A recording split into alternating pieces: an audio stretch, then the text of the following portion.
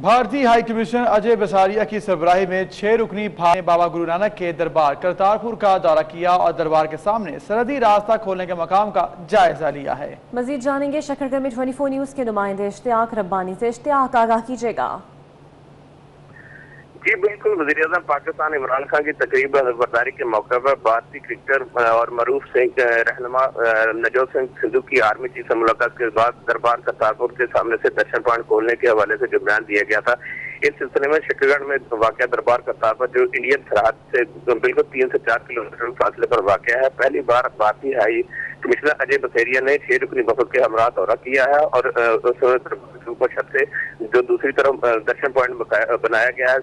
رہنماؤں کی جانب سے اس کا جائزہ لیا ہے۔ اس موقع پر ان کے ہمراہ مسٹر روین کمار اور گرو الویس جو انڈین واٹر کمیشن کے رہنما تھے پاکستان کے دورے پر آئے ہوئے ہیں وہ بھی ان کے ساتھ موجود تھے۔ بھارتی ہائی کمیشن کی قیادت میں وفد کا استقبال بہت شکریہ اس حوالے سے اشتیاق ہمیں آگاہ کر رہے تھے۔